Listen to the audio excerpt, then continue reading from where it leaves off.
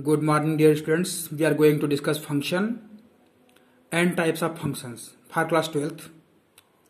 Function can be easily defined with the help of concept of mapping. Let us consider two non-empty sets A and B. Let A and B be two non-empty sets. Then a function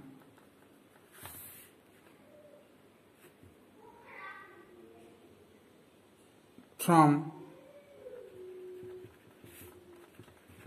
set A to set B is a rule or correspondence rule or correspondence that assigns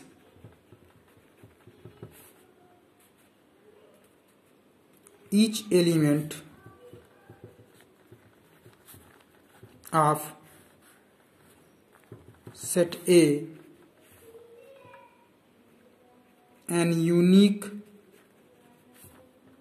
element of set B.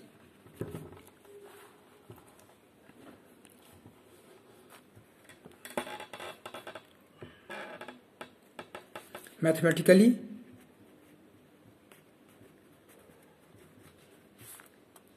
f from f means function from set A to set B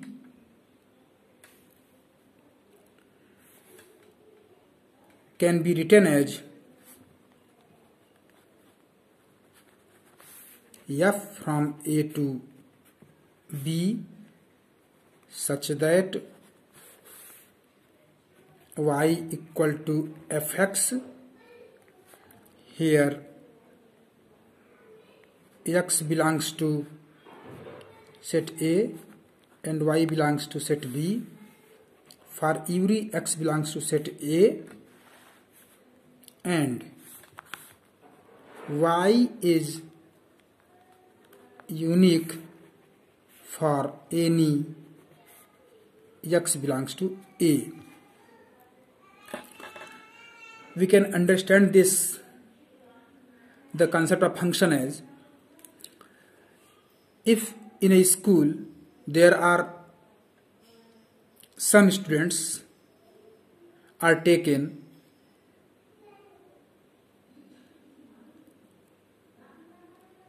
in a set.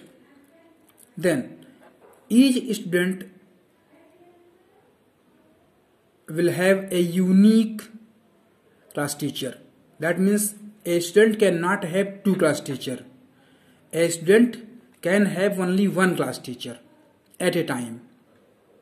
So suppose there are set a which is the collection of all the students of a school and set b is the collection of all the staffs of school including teaching and non-teaching staff. Then if we define a rule or correspondence such that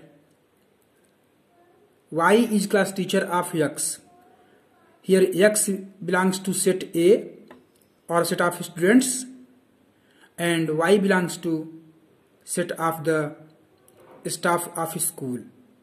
Then each student must have has a unique class teacher, only one class teacher.